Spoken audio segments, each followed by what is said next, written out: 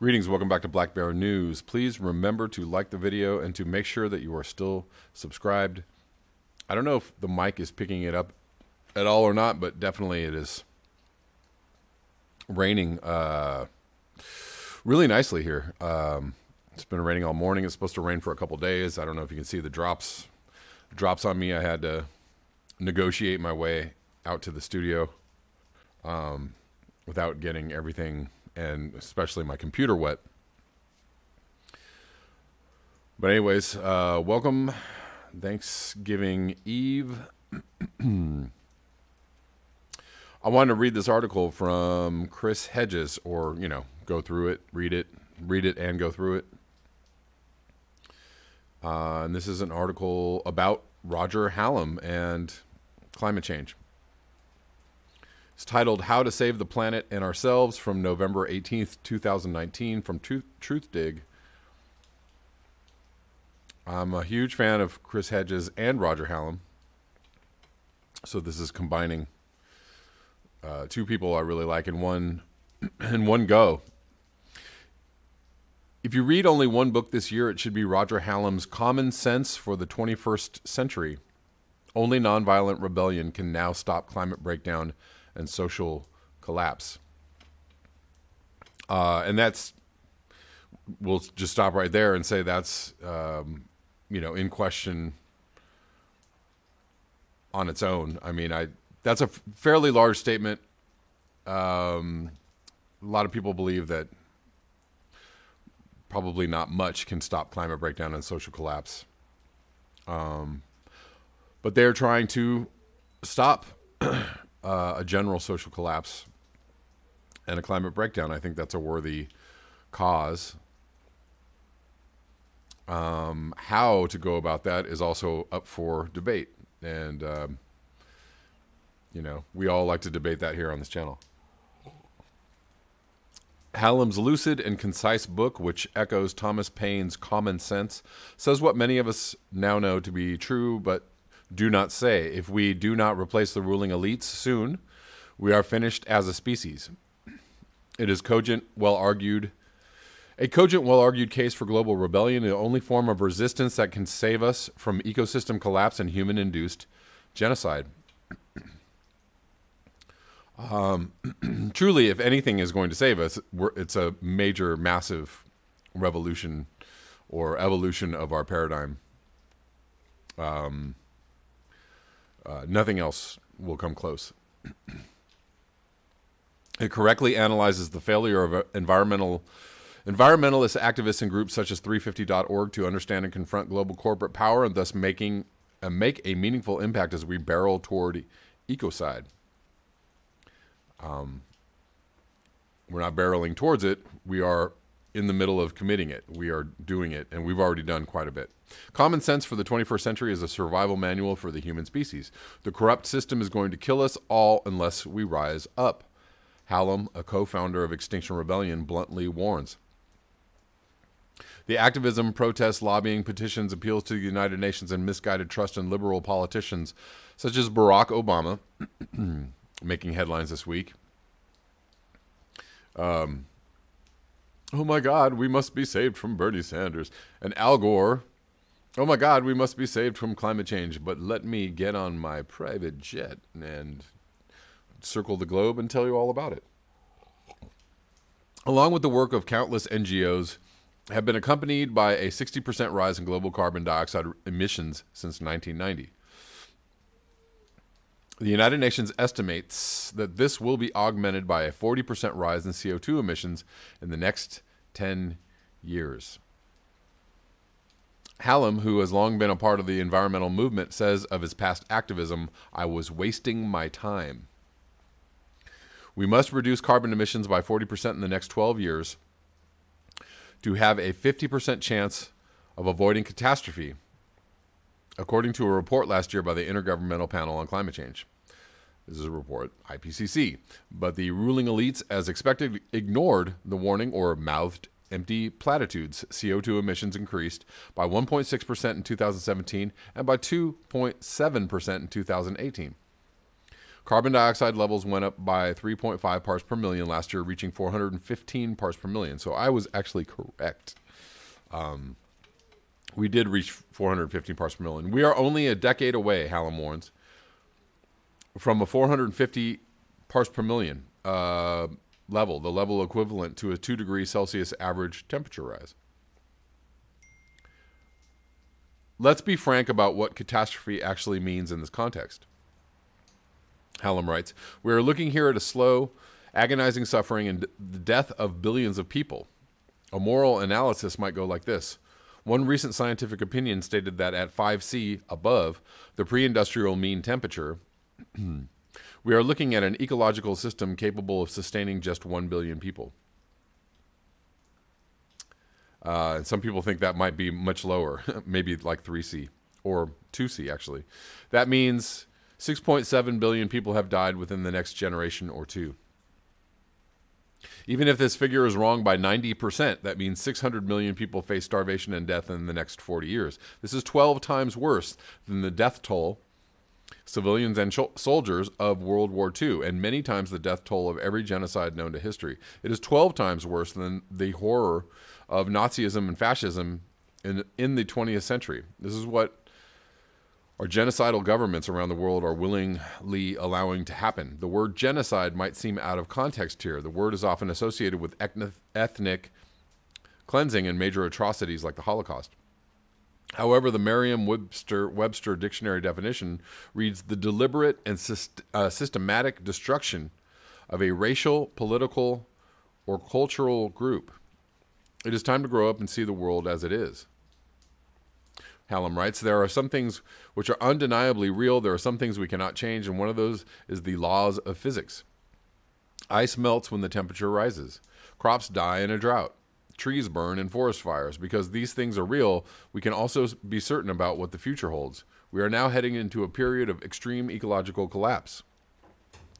Whether or not this leads to the extinction of the human species largely depends on whether revolutionary changes happen within our societies in the next decade. real, real quick, even if we even have a decade to sort it out and make those changes, I would say we'd have to do it sooner. and tomorrow, um, I'm going to read an article about exactly what that would look like, um, getting to net zero or, or, reducing our emissions on a planetary scale within the next decade. Um,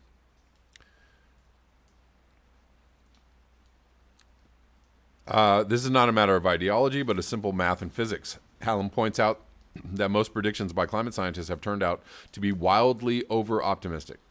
This we know, this we can bank on. Recent science shows permafrost melting 90 years earlier than forecast. Oops. And Himalayan glaciers melting twice as fast as expected. Yikes. Feedbacks and locked in heating will take us over 2C even before we factor in additional temperature rises from human caused emissions over the next 10 years. Also, another another recent uh, Arctic Post blog citing that we are we are over 1.5C. We've definitely breached that threshold. In short, we are fucked. The only question is by how much and how soon. Hallam continues. The only question is by how much and how soon. Um, and whether or not whether we can stop it or not is a really good question. But um, I agree with Roger Hallam. Try we must, uh, or there is no try. There is only do. If you want to quote the great esteemed philosopher Yoda, do we accept this fate? I suggest we do not. Many self-respecting people who can overcome the human failing to disbelieve what they don't like now accept what is obvious looking at the natural science but they have yet to work through the political and social implications. Hallam understands that even with reformists in power and the political mutations caused by neoliberalism have not favored the rise of reformers, but instead right wing demagogues, including Donald Trump and Brazil's Jair Bolsonaro, who accelerate the ecocide, any change will be too incremental and too slow to save us from catastrophe. Ding, ding, ding. Well, there's actually two things happening. We have you know right wing extremism growing, and we also have left wing um, extremism, if you will call it, or populism, or socialism rising as well. In some countries, you know, we have this. In many countries around the world, we have this um, battle, this pitched battle, battle between social socialist forces or left wing forces. It's much like the you know the 30s, um, the 30s and the 40s. Mainly the 30s, where you have the same thing going on around the world um, because of income inequality, because of um, huge social upheaval everywhere in, in many countries, and it happened here in the U.S. It happened everywhere. Um, and it's happening now. I mean, you have a left wing, you have AMLO in, in Mexico, you have um, Evo Morales, who's a left wing, uh, you know, for, for all intents and pers- purpose, intents and purposes, it was a pretty, uh, pretty good leader for the people in Bolivia, being ousted by right wing forces, Maduro, et cetera, et cetera. It's going on around the world. Um, Any change will be too incremental and too slow to save us from catastrophe. Extinction Rebellion has the stated aim of bringing down the ruling elites. It organized last month's coordinated series of demonstrations in 60 cities around the globe. Some 1,832 people were arrested in London alone. Additionally, more than 1,000 people were arrested during 11 days of civil disobedience in the streets of London and in April. You can see interviews I did with Hallam here, here, and here. This is not a matter of one's political party preferences. Hallam writes, it is a matter of basic structural sociology. Institutions like animal species have limits to how fast they can change. To get rapid change, they have to be replaced with new social systems of policy, practice, and culture. It is a terrible and painful realization, but it is time to accept our reality. And he's pretty spot on. Um, are we going to get? Are we going to get justice? Are we going to get movement with so-called socialist leaders, a la Bernie Sanders or Jeremy Corbyn. Um, is it going to happen fast enough? Probably not. Um, even though they bring at least the reality of climate change into the discussion, at least you know the acknowledgement is there, but the acknowledgement that we need to actually um, degrow the system, we need to basically bring down the entire capitalist industrial system in order to really make the changes necessary, I don't think anybody's talking about. I don't know if even Roger Hallam is talking about that. Let's see. It is only by bringing tens of thousands of people onto the streets to disrupt and paralyze the functioning of the state and finance capitalism, in short, a rebellion, that we can save ourselves he, he writes, he grasps the fact that the protests must be nonviolent and must focus on governments. After one or two weeks following this plan, historical records show that a regime is highly likely to collapse or is forced to enact major, major structural change, he writes. This is due to well established dynamics of nonviolent political struggle. The authorities are presented with an impossible dilemma. On the one hand, they can allow the daily occupation of city streets to continue this will only encourage greater participation and undermine their authority. On the other hand, if they opt to repress the protesters, they risk a backfiring effect. This is where more people come onto the street in response to the sacrifices of those the authorities have taken off the street, uh, or at least you hope. In situations of intense political drama, people forget their fear and decide to stand by those who are sacrificing themselves for the common good. The only way out is for negotiations to happen, he writes. Only then will a structural opportunity open up for the emergency transformation of the economy that we need.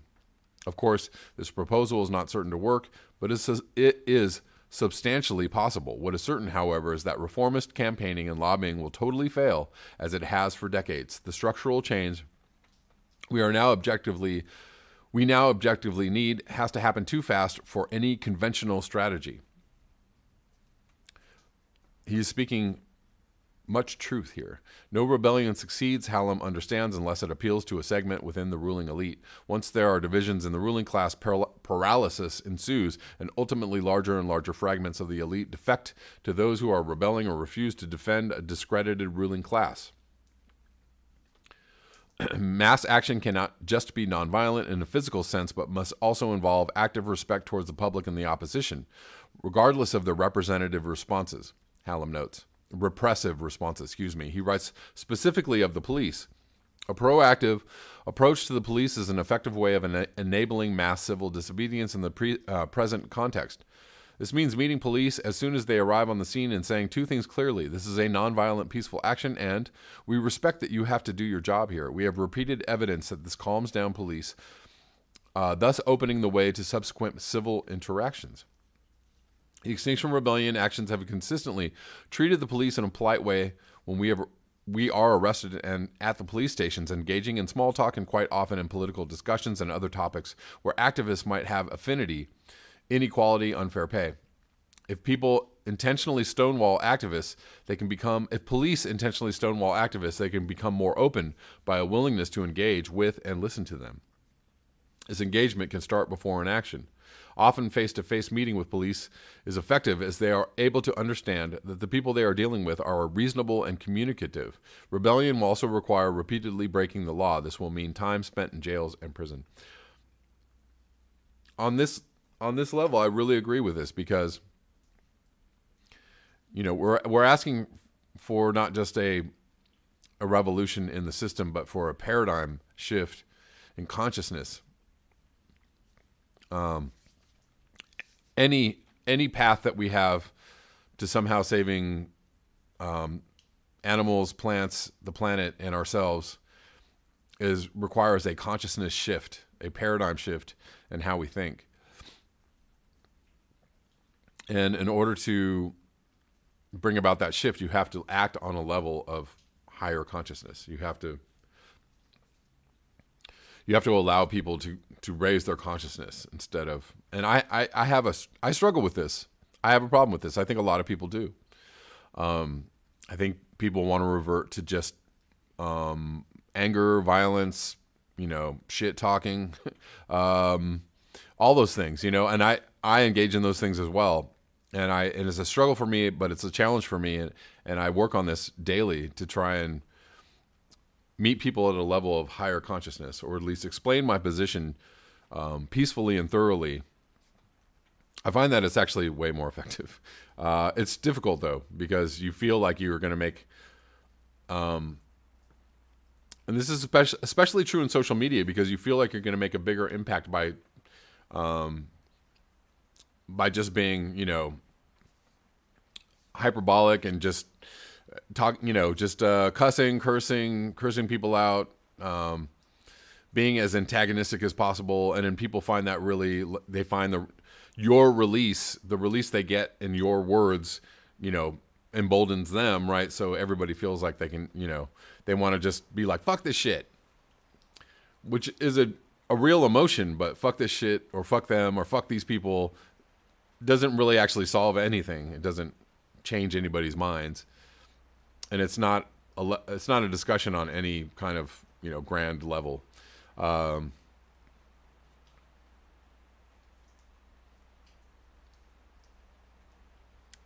this results in the uh, Rusty being in a contempt of court place in. Oh, hold on.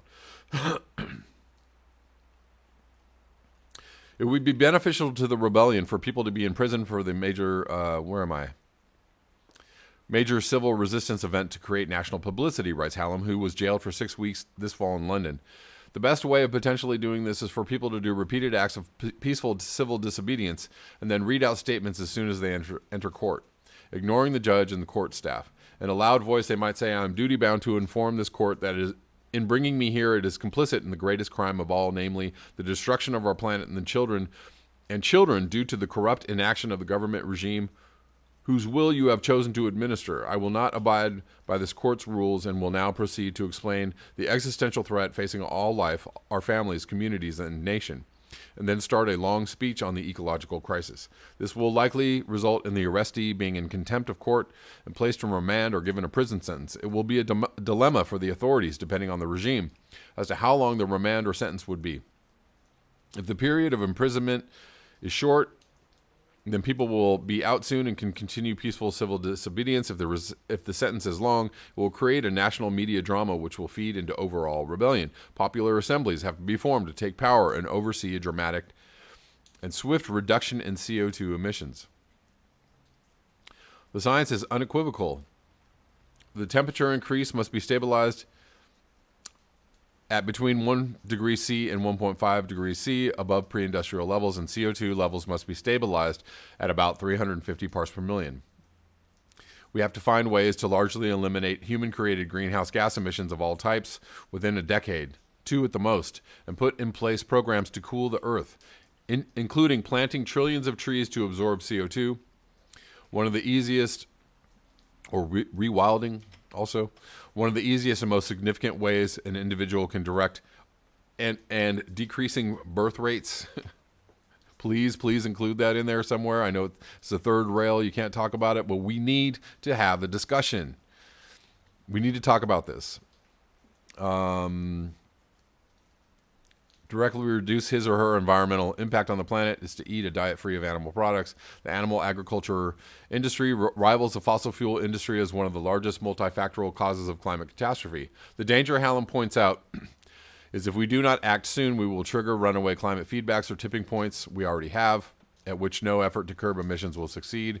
Some people think we already have. We are there's evidence we're already at 1.5. so anything we could possibly do now has to involve steps of go, you know somehow reversing the emissions and the damage already done. Fossil fuels must be swiftly eliminated from the economy, including a ban on all new investments in fossil fuel ex- exploration and development, nationalizing all fossil fuel, uh, all industries relating to fossil fuel, and either li- liquidating them or taking them over, taking over the infrastructure. That has to happen on a global level. Um, the U.S. can start by doing that first. Uh, that that's only going to happen through massive civil disobedience.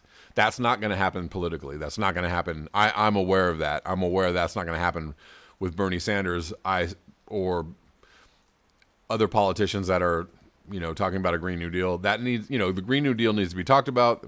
Consciousness needs to be raised. Awareness needs to be raised. But in actuality, the things that are going to reverse the damage in time are not going to happen with Bernie Sanders or a Green New Deal. It's going to happen or unless he realizes that we're going to have to nationalize the fossil fuel industry and all the power grid. He does actually. He's actually uh, supported that. Um, it's going to have to. That's going to have to happen and happen immediately.